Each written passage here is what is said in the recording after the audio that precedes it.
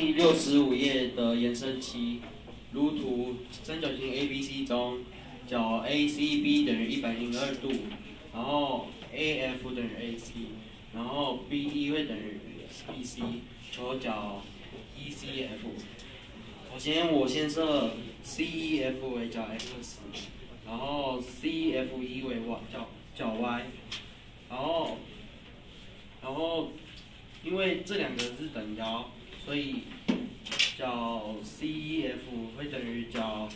ECEB，所以这边是 X，然后然后也也因为 AC 跟 AF 是等这个等长，然后所以角呃 CEF 会等于角 ACF，然后